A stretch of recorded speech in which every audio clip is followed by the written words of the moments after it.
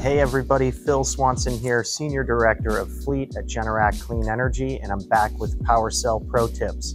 Today's topic is troubleshooting an automatic transfer switch, or the ATS.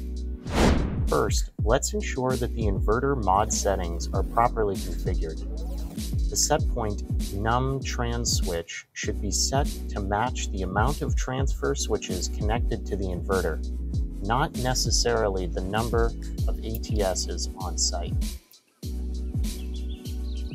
In this case, we can see that num trans switch is set to 1. Next, let's make sure that the protected loads breaker is set to the on position. We're also going to want to confirm that the protected loads output is properly wired to the ATS.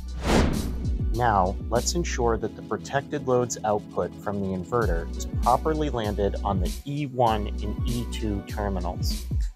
Power from the inverter performs the backup transfer operation, so the mechanism moves down.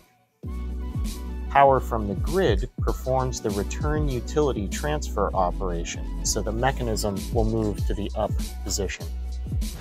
Next, check the field installed wiring make sure that the Cat5 CTs and the Cat5 inverter ATS control are not crossed or mixed up.